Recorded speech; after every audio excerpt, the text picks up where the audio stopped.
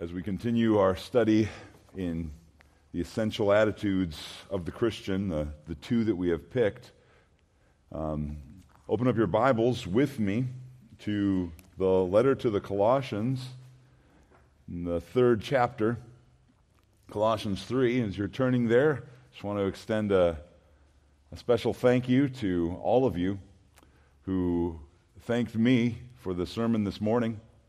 I appreciated your very unique humor, all of you. It was nice to know that you were angry at the sermon. All of you, very unique. Thank you very much for that, those flattering words. Let's read Colossians 3.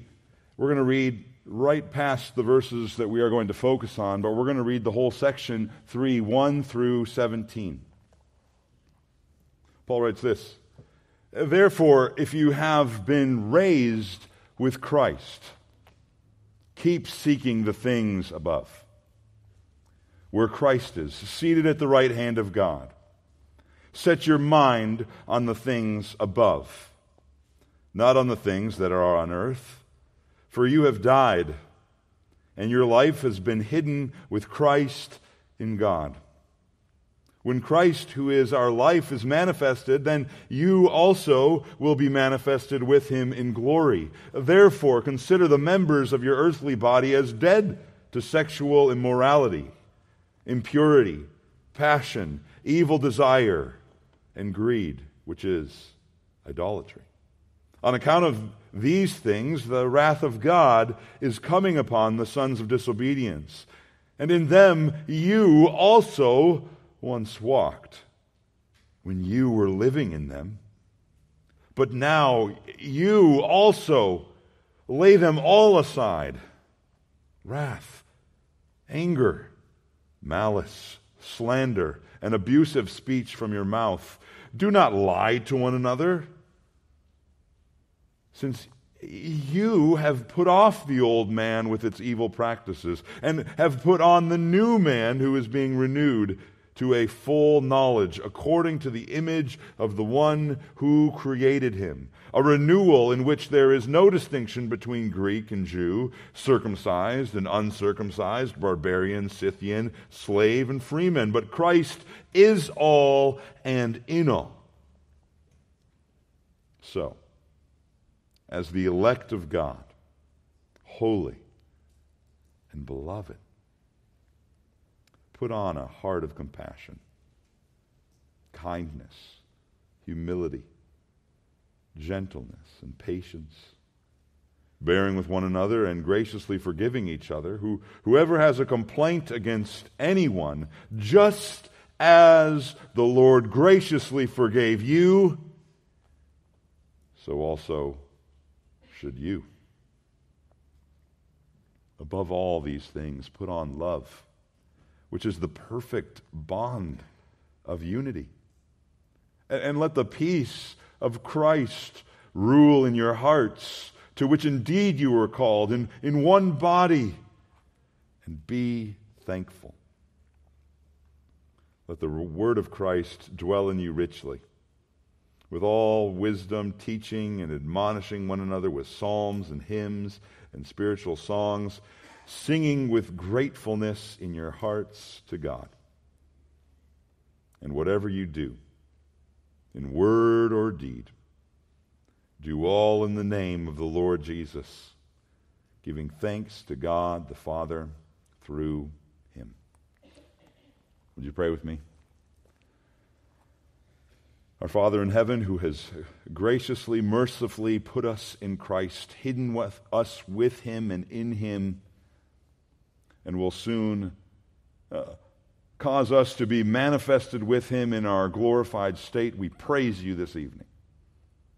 And we, we consecrate and dedicate this time to you and to the worship of you through the sanctification of our inner being.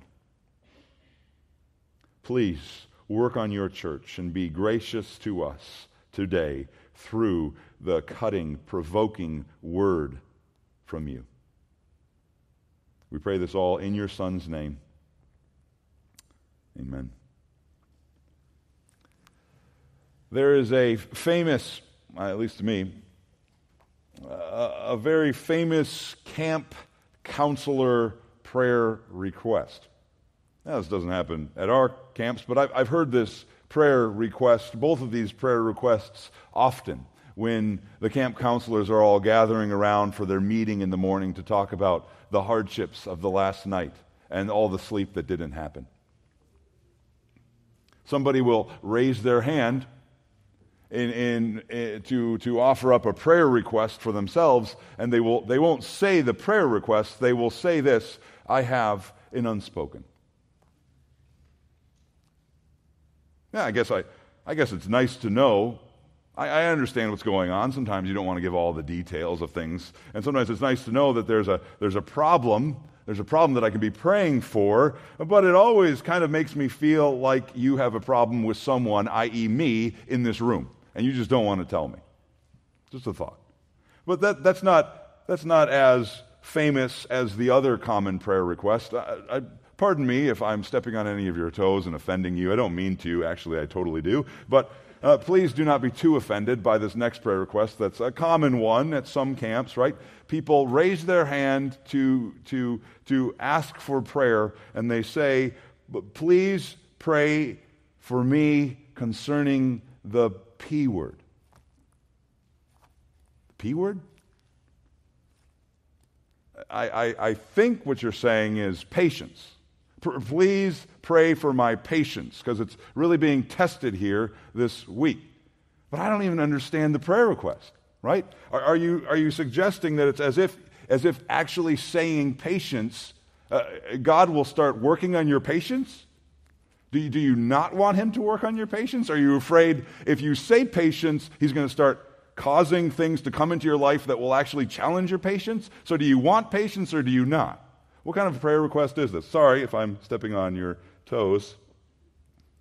Isn't that essentially saying, though, that you don't want God to work on your patience? I mean, I appreciate the fact that you recognize that you have a patience problem, but not even being able to acknowledge it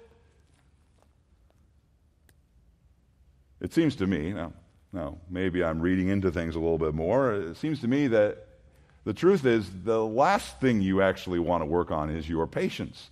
That's why you can't even say the word for fear of it.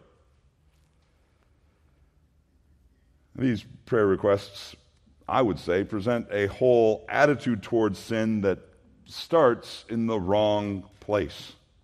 You shouldn't focus on you.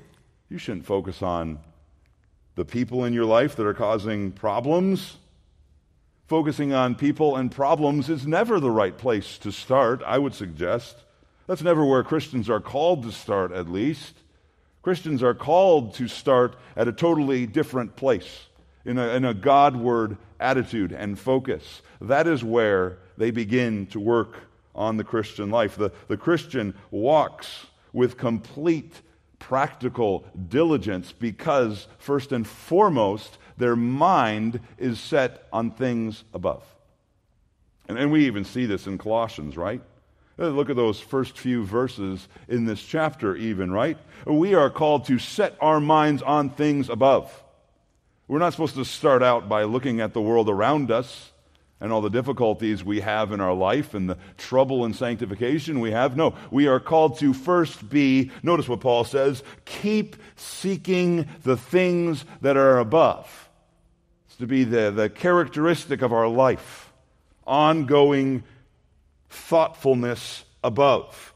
Verse 2 we are to be setting our minds on things above. That's where we start. That's where you start on things above? What do you see? What do you think on when you start setting your mind there first in the morning?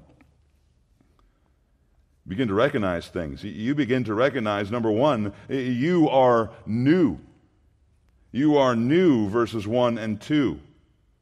Oh, that's where Christ is seated at the right hand of God. And, and you are with him.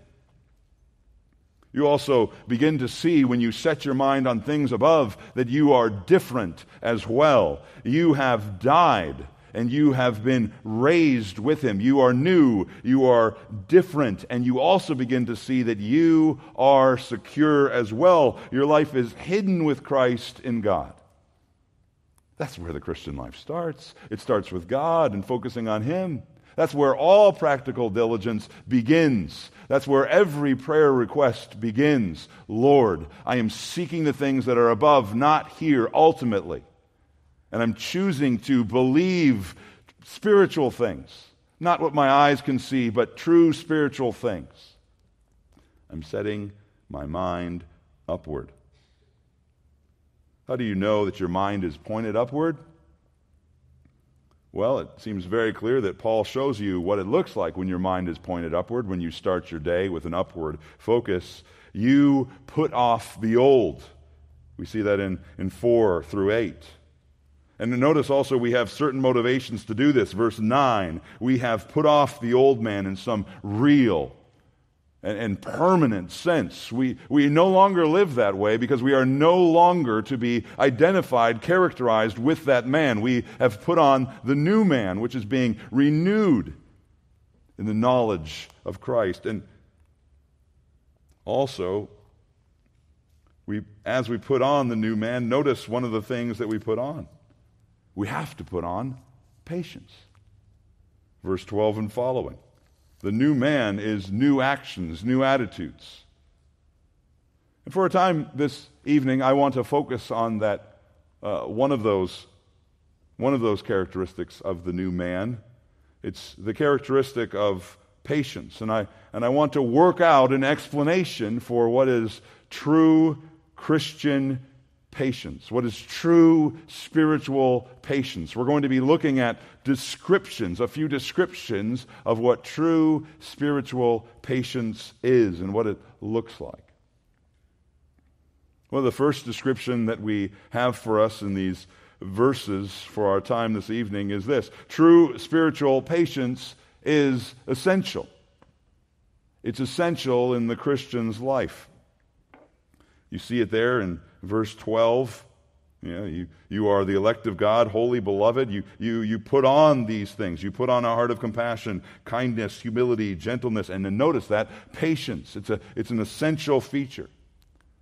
Now, when you look up the word patience and you look at the, the words, all the words that are used, there are many New Testament words. There's also a really fun Old Testament word, and I want to share it with you. It means that you have a long nose.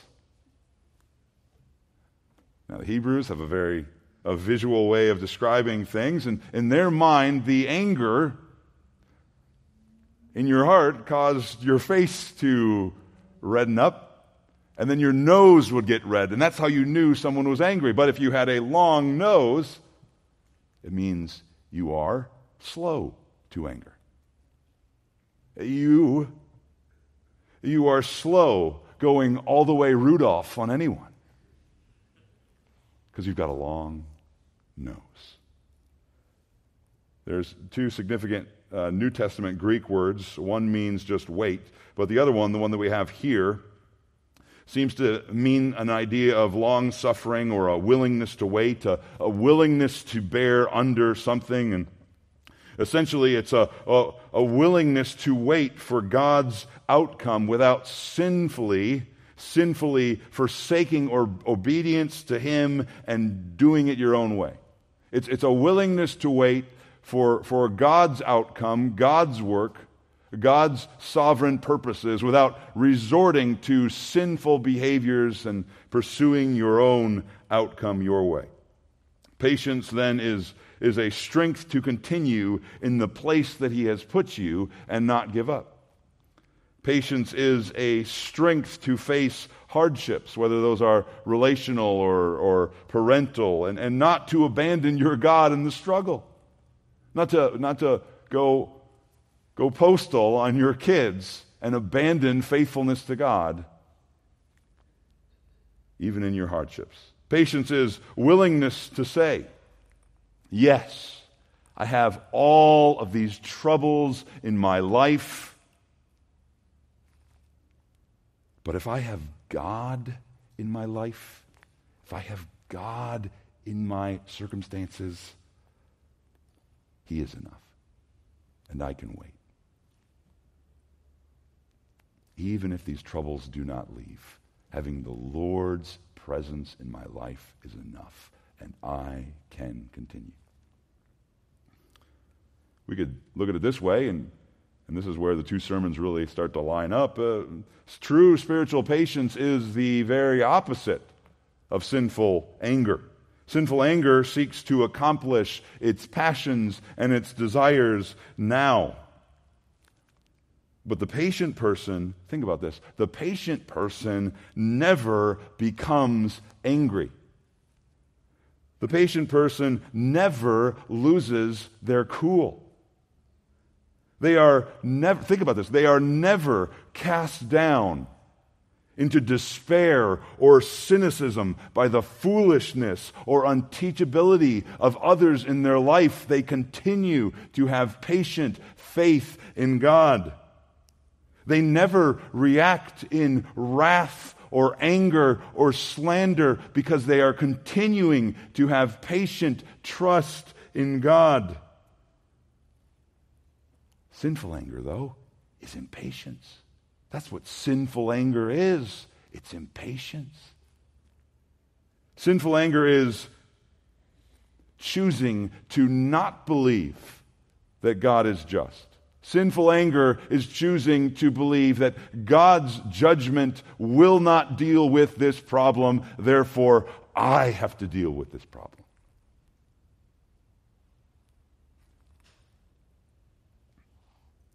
Sinful anger acts as if everything depends on you and nothing depends on your God.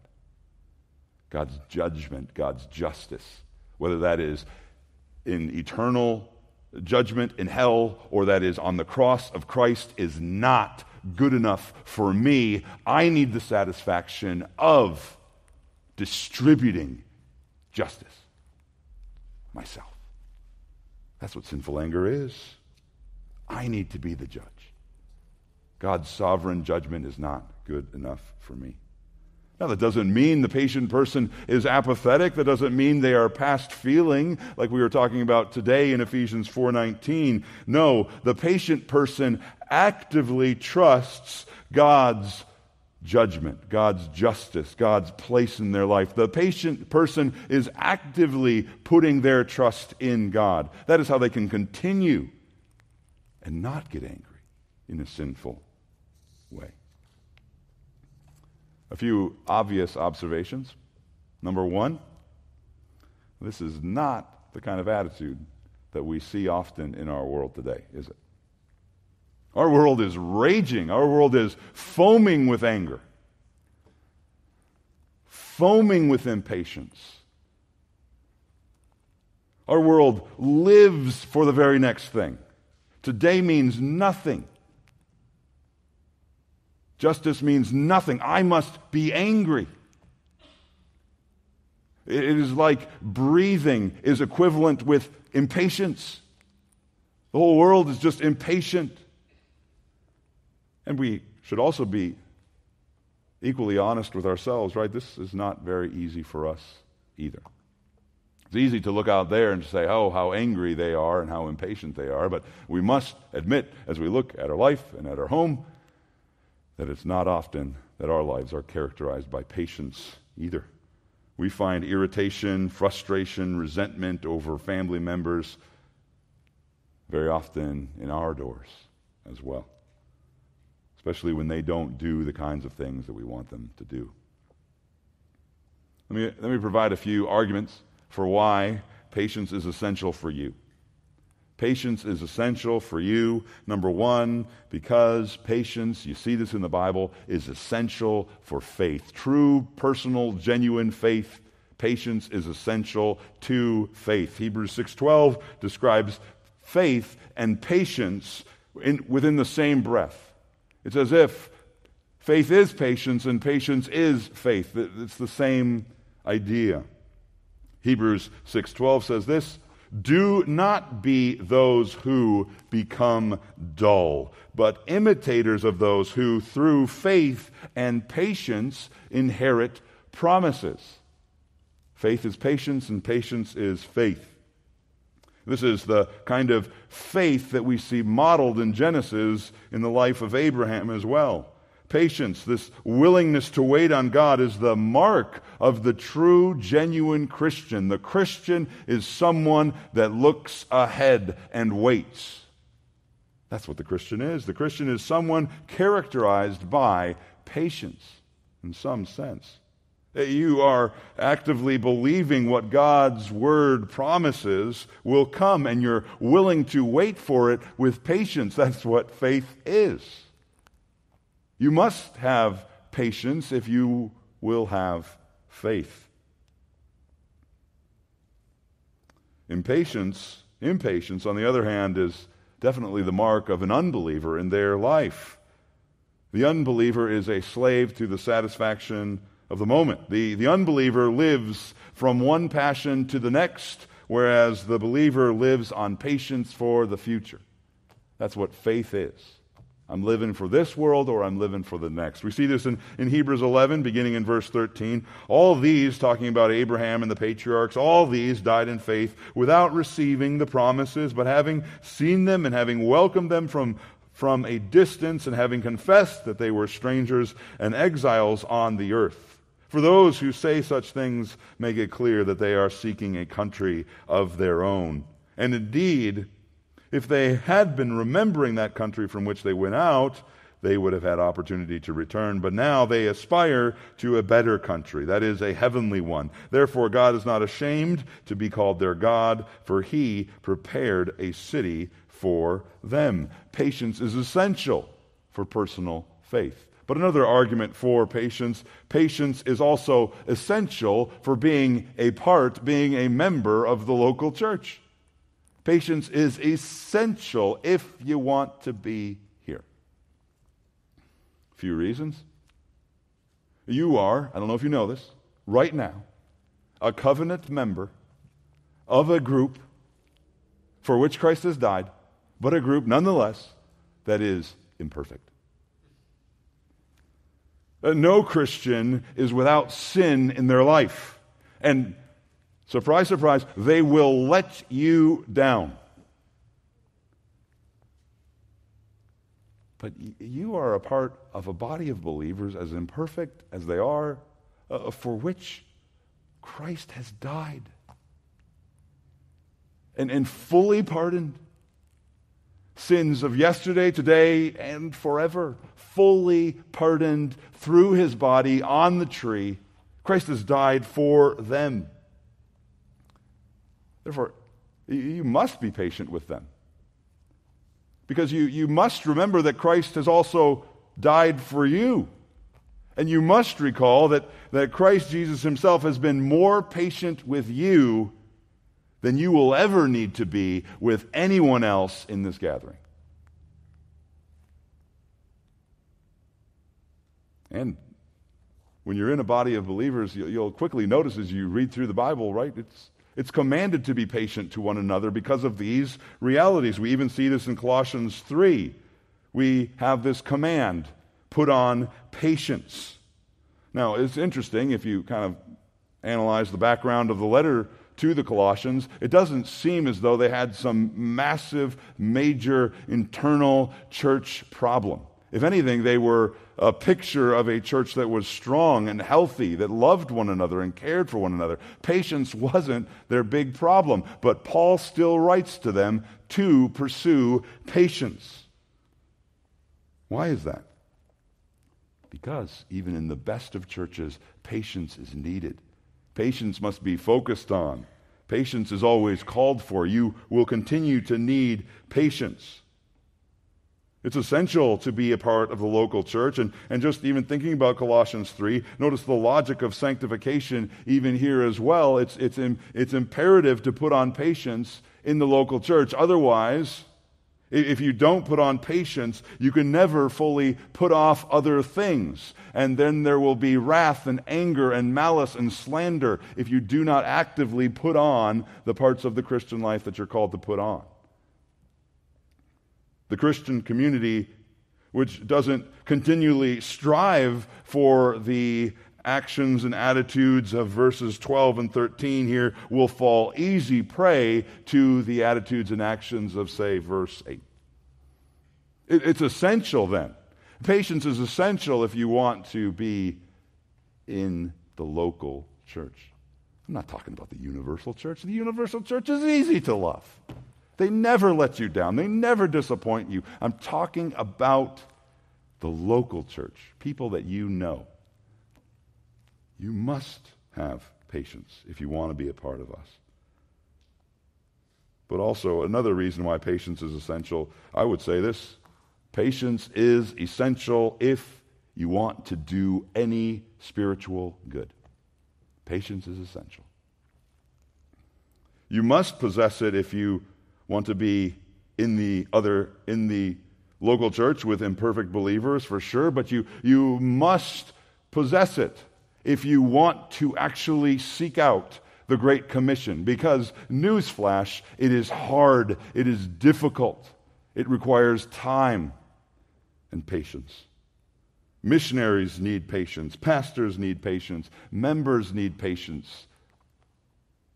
Because pursuing the Great Commission takes time.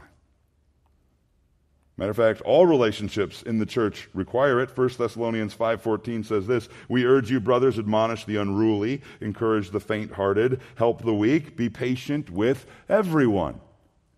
That's what every relationship in the church requires. 2 Timothy 4 2 says, This is the kind of heart, the kind of heart of a, of a teacher, of a counselor, of someone who wants to speak truth into another person's life. You must be a patient person. Uh, Paul says this in 2 Timothy 4 Preach the word, be ready in season and out of season, reprove, rebuke, exhort with great patience. You can't reprove rebuke, and exhort if you don't have great patience and teaching. And we, and we could even continue on, for the, the time will come when they will not endure sound doctrine. You need patience. And they will want to have their ears tickled, and they will accumulate for themselves teachers in accordance with their own desires, and they will turn away their ears from the truth and will turn aside to myths but you must be sober in all things, endure hardship, do the work of an evangelist, fulfill your ministry. Or add there, be patient. Proverbs 5:18 thinks about patience as kind of like a good cop skill. A good cop skill. A good cop is someone who doesn't escalate a situation, but de-escalates a situation, right? This is what Proverbs 5:18 says. A hot-tempered man stirs up strife, but the slow to anger quiets a dispute. Proverbs 25:15 uh, describes patience as something that has incredible influence. It is the characteristic of someone who can persuade. Verse 15 of Proverbs 25 says, When one is slow to anger, a ruler, a ruler may be persuaded, and a soft tongue breaks the bone. Bottom line, if you want to do any kind of spiritual good, for other people in your Christian life, if you want to be of help to sinners, if you want to be a fisher of men as Christ has called all of his disciples to be, you must be patience or patient. Patience is essential.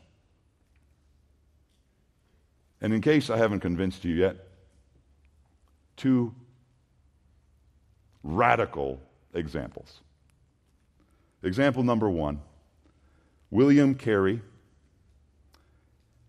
who was a missionary to India, had to labor for seven years before seeing a single convert.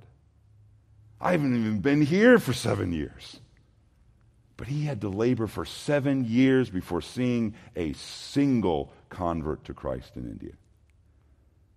Adoniram Judson, who followed William Carey but ended up in Burma, through no effort of his own, had to work for seven years as well before he saw any fruit whatsoever. Seeking to serve Christ, seeking to do spiritual good for anyone, requires patience. Seeking to do spiritual good requires that you are willing to suffer affliction and resentment and misjudgment. That is patience and patience is essential. This description, though, quickly leads to our second description. Not only is true spiritual patience essential, but true spiritual patience is not of you. You can't do it. It's not of you. Many, I suppose, consider themselves to be relatively patient people. At least until we start breaking open the description of what true biblical patience looks like. You know, the never getting angry kind of type. You know, the kind of type that does intentional spiritual good for other people kind of type. The world's definition of patience, though, is pretty easy to meet, to accomplish, to pat yourself on the back for. You could say, I'm a very patient person, as long as the people that I'm patient towards are deserving. The world might say, I'm a very patient person when I feel like it. The world may say, I'm a very patient person as long as I isolate myself. I was a great person until I got a roommate. I was a fantastic person until I got married. I was impressed with myself. I'm a very patient person, the world may say, as long as I steer clear of trying to help anyone. As long as I steer clear of trying to do anything whatsoever in this world of spiritual good for someone else, I'm a very patient person. Turning back to Colossians 3, notice. Notice Paul never wants us to get past or escape the understanding of who Christ is and what he has done for us. He never wants us to just go on to the practical and forget about what Christ has done because he knows that we are quick to trust ourselves and quick to forget the true condition that we are in. But he never wants us to forget, in our obedience, even, that even our obedience, even our fruit, is from him and of him and to Him. Paul always wants us to remember how much we are rooted in God and how much we are dependent upon God. The patience called for in you also requires God to do an amazing work in you. And it's totally not of you.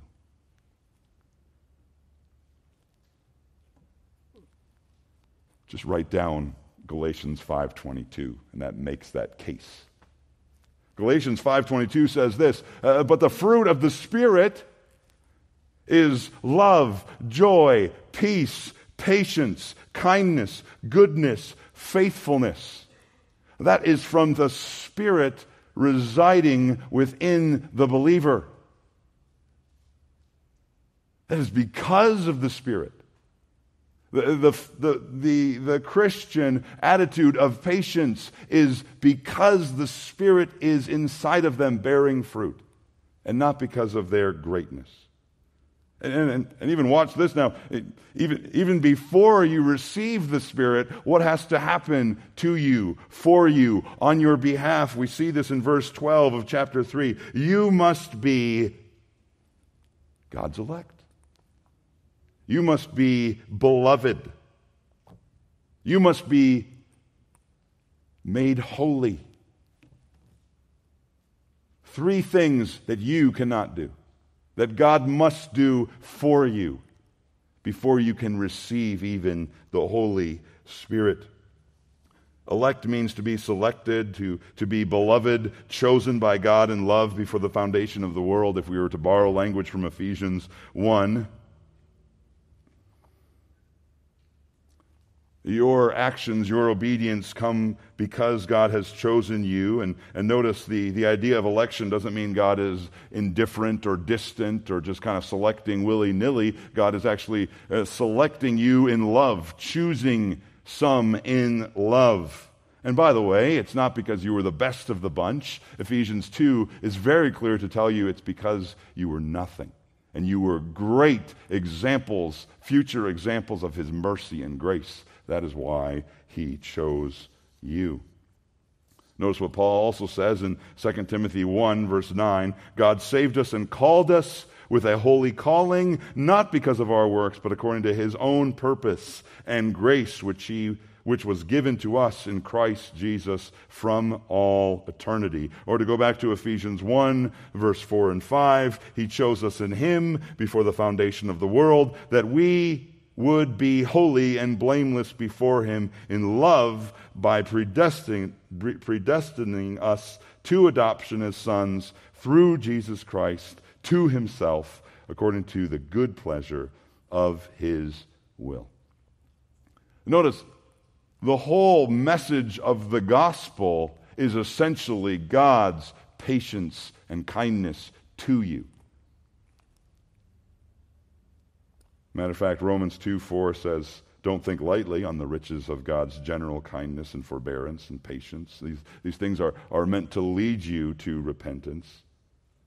We even see in 2 Peter 3, verse 9, the Lord is not slow in his promise, as some consider slowness, but he is patient towards you. The whole gospel of God is God's patience towards sinners.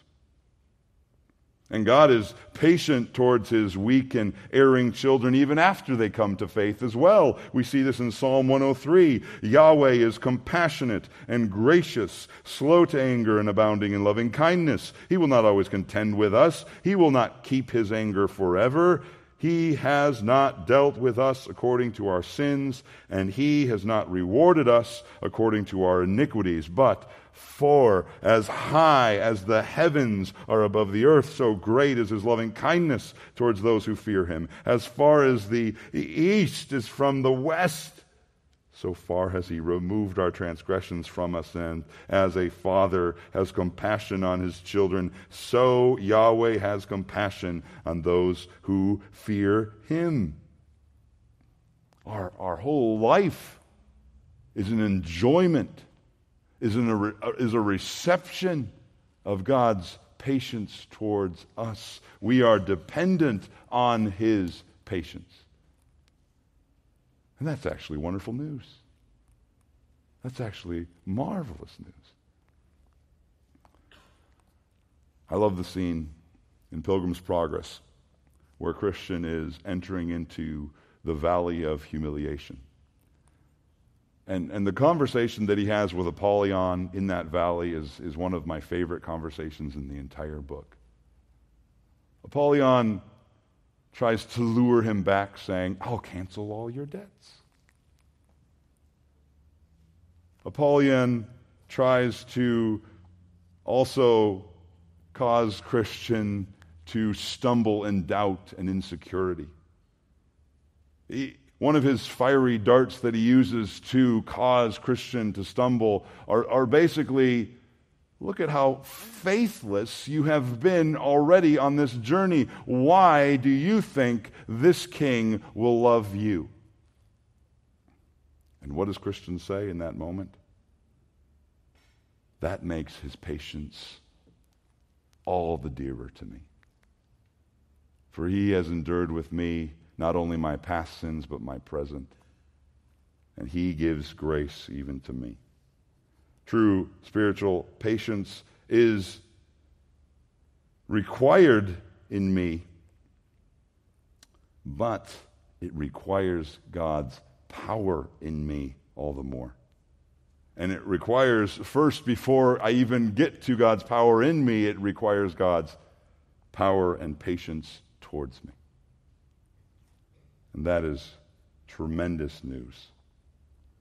Perhaps you don't consider yourself a very patient person, but I would say that's the, the very best place to start. Because patience begins not in you, but in a total dependence on God and a trust in Him. You need a perspective, and you need His power. Patience is not of you, for sure. And as any good pastor would say, this is just an introduction to our passage. Because this leads us to our, our next description. And finally, maybe finally, we'll actually get to the word patience in our passage. This brings us to our, our third uh, description of spiritual patience. True spiritual patience is never alone. It is essential, it's not of you, but it's never alone. Think about it. Verse 12. So, as the elect of God, holy and beloved, put on a heart of compassion, kindness, humility, gentleness, and patience. There seems to be a clumping here. This is not random. All of these attitudes belong together and almost seem to overlap when you look them up. They build on each other. In fact, you can see this. They move from the inside of the person to the outside of the person, to the actions, to the behavior. They move from the heart condition to the hand conditions in the believer. Paul is describing a progression here. He is clumping all of these together to show what the believer looks like from the inside out. Now, you may doubt that Paul is doing that. You say, it just happens to be those words he puts there. But, but notice this seems to be Paul's style because in verse 5 he does the exact opposite. In verse 5, he goes from the outer sin, sexual immorality, to the very inward sin, which is what? Greed. That is the core, the root of sexual sin. It is covetousness, it is greed. Paul moves from the outward to the inward. This is what sexual immorality looks like idolatry of the heart. And here he's saying, here is what forgiveness looks like. It looks like compassion in the heart. It begins with compassion. Matter of fact, I would say here in verse 12 of Colossians 3, we see here a, a powerful chain pulling a massive load. Every link is important. One of the work projects we did on the junior senior retreat was a what we called a chain, in which we grabbed a bunch of wood from a wood pile over there and delivered it over here to a stack of wood. And in order not to wear ourselves down, we formed a chain. One person over there hands it to this person, who hands it to that person, who hands it to that person, who hands it to that person, who hopefully puts it on the pile right, otherwise it all falls down, which may or may not have happened once. What's the thing about chains? Chains can, can pull a massive load. uh, chains can do massive work quickly and effectively, but a chain is only as strong as its weakest link.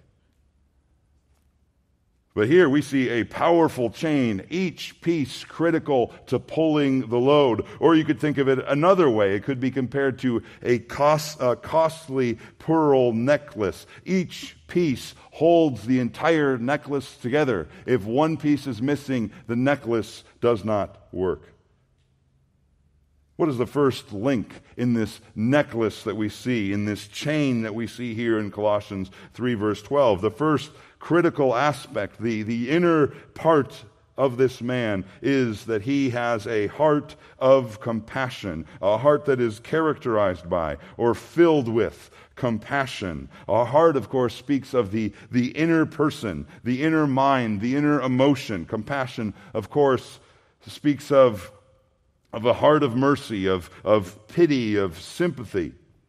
It is a heart that naturally reaches out to people who are difficult rather than pulling away from them. That is what a heart of compassion is. And we see a beautiful illustration of this in, in Christ. In, in Mark 6:34, for example, when he saw the crowds coming, now, maybe you need to step back a little bit to understand this, right? He was trying to get away from the crowds to take a break for a while in Mark 6 because he just learned that his cousin, John the Baptist, was killed and he wanted to take some time to be with the disciples. But when he sees the crowd coming, what does he do? What comes out of him? It is a heart of compassion, Mark tells us. It is a heart that is drawn towards them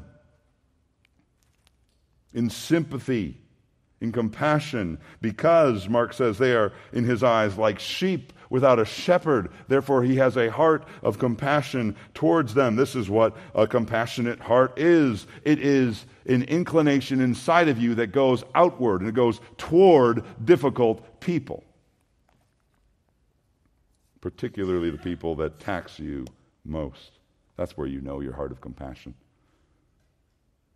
The second link, though, we see in this chain is, is this idea of kindness. It usually refers to benevolence. It usually refers to having a helpfulness about you, doing good for someone else. But if we were to think of this as more of an internal quality, it is a willingness to do good for another. It is a willingness to go to those who are in need. Notice, a, a heart of compassion bleeds into kindness, it leads to the next. Such a heart wants to do good. Such a heart wants to express its kindness in some way. It is concerned for the welfare of the one who is suffering near them. It is concerned. But then, our third link, we have humility. Humility is, is a virtue that someone possesses when they have a true view of themselves. Not the way they want to think of themselves, but the way God actually views them. And they review themselves and they view themselves truly as they really are. One of the lines of our church covenant that I really love talks about how we covenant together to have a biblical view of self. That's essentially saying, I am covenanting to have a humble view of myself. I'm covenanting to see myself and view myself through the Word of God. It's humbling. It means you know your weaknesses in sin and your weaknesses as a creature, and you l- look at yourself accordingly. It's, it's very interesting to look at background information because the Greeks didn't really use this word. They didn't really like to think of themselves in the, the concepts that this world, word presented. It meant to be low. It meant to be poor. It meant to be powerless. It meant to be unimportant. And they didn't want to think about themselves that way. But as soon as the New Testament comes along and the gospel comes along, Christians love this idea. Because nothing is better to know than that you are completely 100% dependent on the grace of an infinitely kind God. No more happy place could be found. I will gladly embrace humility if it is before this God. Humility bleeds into the fourth, it bleeds into this this word, gentleness, you see it there. Meekness is in the ESV. It refers to an idea, perhaps, of being small, not so impressed with yourself. You're not so impressed with yourself at such a level where gentleness comes out. You don't fight back or fight back against wrongs that are committed against you because you are gentle. You, you can be unprovoked when sinned against because you are gentle. You have this inability. This is what gentleness is it's an inability to bite back. Why? Because you have a biblical view of yourself. You are humble. I'm a sinner too. I wouldn't want someone to treat me as I am tempted to treat you. I'm going to be gentle with you. In fact, you are willing to suffer the burdens of another sin. Why? Because you have a heart of compassion and a heart that bleeds into kindness and you want to do them good. Notice this goes back to this idea of humility. All of this requires humility. You, you know you have true humility of the soul when you have meekness and gentleness in your behavior towards others. That's when you truly know that you are humble, when you can be wronged and not be wrong. Meekness isn't weakness, it is the greatest of spiritual strengths. It is required to do spiritual good, Genesis 6 1 talks about it as a necessary attitude to help and restore sinners. Paul says, Brothers, even if anyone is caught in any transgression, you who are spiritual, restore such a one in a spirit of gentleness, each of you looking to yourself, so that you too will not be tempted. It could also be said that. Uh, Gentleness is essential for defending the faith, calling people to repentance as well. 2 Timothy 2.25 and 24 says this, the, the Lord's slave must not be quarrelsome, but be kind to all, able to teach, patient when wronged, with gentleness correcting those who are in opposition, if perhaps God may give them repentance leading to the full knowledge of the truth. Gentleness is required. And that brings us to our fifth link in, in our word patience. Patience. Only, can you see it? Only if you have these preceding qualities can you have patience. Or to say it another way, true spiritual patience is never alone. It's not just patience that you need.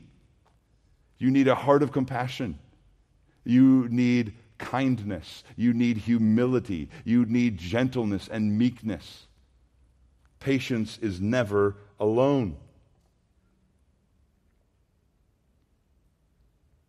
So, the gentle thought here is you can only be changed towards others truly when your heart is changed from within, when the gospel turns your life upside down. That is the only time you will ever see true spiritual patience at work. The, the, the truly saved person uh, doesn't go around asking people qualifying questions before they're patient with them. They don't say, uh, What have you done for me lately?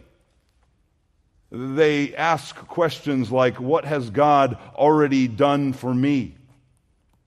How is God currently treating me? And that results in a chain reaction of compassion, kindness, humility, gentleness, and patience. Final description in our explanation of true spiritual patience. We've seen it's essential. We've seen that it's not of us. We've seen that it is never alone, but the, for, the final thing I want to insist on for you tonight true spiritual patience is not the end. It's not the end. That's not what Paul is focusing on here. This is not the end goal. He's not saying put on all of these things so that you can have patience. There is more that we see the Apostle Paul is after. And can I say this? More that the Spirit of God is after in you. Patience is not the end.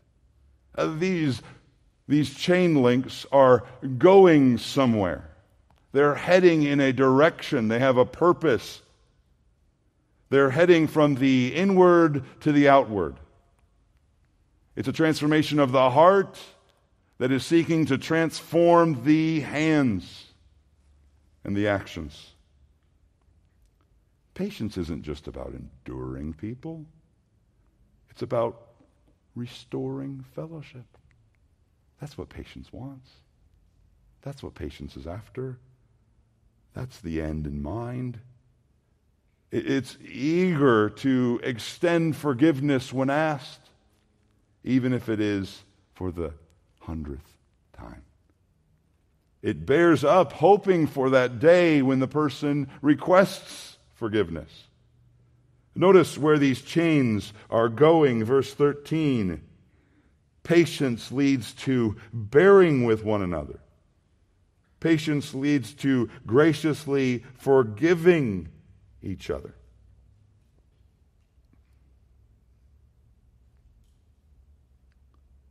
These are very striking descriptions. And notice they are, they are more vivid uh, compassion, kindness, humility, gentleness, patience. Know, those are adjectives. But notice There is a verbal quality to these in verse 13. They are doing something continually, actively. Notice the ing ness of these words. You're bearing with someone, you're forgiving one another. You're continually doing this. This is, this is like the HD that Paul really wants you to see. I, I, I was just saying all of these things so that you would get to these qualities bearing with one another. It means you endure someone who fails with fails you and don't treat them as you would prefer, but you instead prefer to endure them a little bit longer. It, has been said that this is pre forgiveness. This is ready to forgive. This is eager to forgive. Forgiveness is a very transactional thing. You can't forgive someone if they have not actually requested forgiveness. What do you do until then? You bear with them in love, with a heart of compassion and patience and humility, eager for that day where you can extend forgiveness. But until you do, you are bearing with them. Because you can only truly forgive them when they ask you. But you're bearing with them. Now, this isn't a disgruntled or grumpy, I'll grin and bear it. This is, remember, the last link in a lot of links leading up to this. This is a heart of compassion on display. This is a, a, a, a, kindness of heart, a desire to do them good on display. This is humility on display. This is gentleness on display. Bearing with someone displays all of these qualities. But bearing with someone is not what you're after. What is, what, what is the thing that you're after?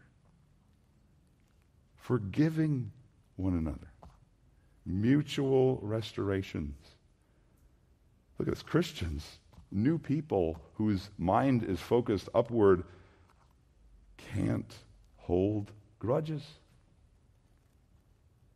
They hold exactly the opposite an eagerness to forgive. Here's the look at the patience in the heart. It not only bears ills and mistreatments, it also cheerfully and freely seeks to do spiritual good for others. It is eager to extend forgiveness. But even that is not even the end. Verse 14, we see what the end is. Patience is the promotion of unity under the truth of the gospel. Uh, the patient heart is continually pumping with forbearing and forgiveness to others because of the gospel. Uh, patience is seeking unity under truth, not unity under forgetfulness, but unity under true reconciling forgiveness, patience, putting on love. That is the perfect bond of unity. That is what patience wants peace, fellowship together.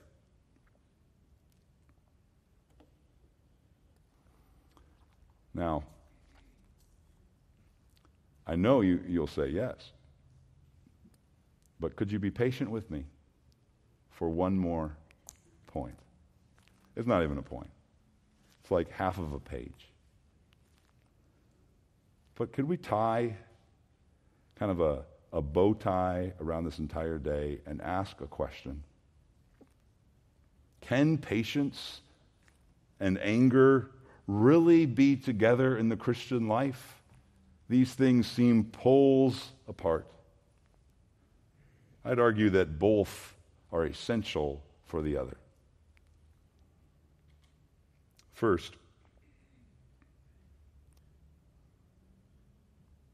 I would suggest you, you'll never know true patience in your life until you are willing to be angry about the pride and the hostility and the resentment in your heart. Uh, anger, righteous anger towards your own sin is essential to true patience. Otherwise, you'll be cut off at the pass. You will never be able to get out of the heart of compassion because your heart will be full of self seeking. You'll never have true patience unless you are willing to be truly angry at the sins of your heart. You'll never know true patience. And secondly, true patience will always guard you from sinful anger. True patience will always keep you. True blood bought patience a perception that comes from God's patience with you will always protect you from sinful anger towards others. Sinful, selfish anger. You must have both, or you will have none. That's what we see. Let's pray. Dear God in heaven, we thank you for this evening that we get to gather here, hear your word, and pray that your your truth would sink deeply into our minds and our hearts, and that you would be gracious to us and provoke us again to love and good works.